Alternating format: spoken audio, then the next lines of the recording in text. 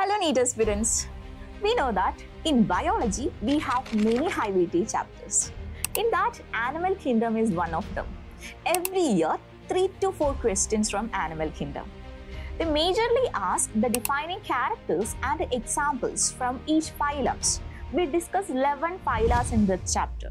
Today, we'll study one phylum in one minute. For example, phylum Cnidaria. Otherwise, it is called phylum Coelenterata.